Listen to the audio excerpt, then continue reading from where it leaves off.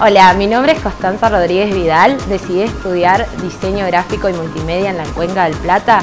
Elegí esta, esta facultad porque me gusta el ambiente que es muy cálido y el profesionalismo como principal.